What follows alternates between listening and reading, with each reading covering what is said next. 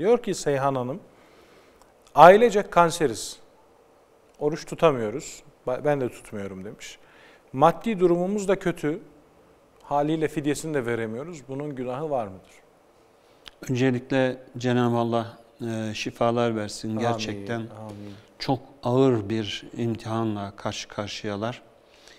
E, bakın böyle insanlar da var ve bunlar gerçekten e, ne bileyim bizi duygulandırıyor. E, yani hasta, kanser ve oruç tutamadığı için üzülüyorlar. Ve Ya bazısı fidye- keyfiyetten tutmuyor. Evet bazıları keyfiyetten tutmuyor. Yani Maalesef. hiçbir mazereti yok. Veya bahane arıyor. Oruç, oruç tutmamak için bahane arıyor. Ee, bunlar da hastalar, oruç tutamıyorlar ve fidye de veremiyorlar. Biz ne yapalım diye onu soruyorlar. Ee, bunların e, tevbe istiğfar etmeleri yeterli. Haddi zatında buna bile gerek yok ya. Çünkü bir suç işlememişler. İmkanı yok. Lakin tevbe illaki bir suç işlemekten kaynaklanmaz.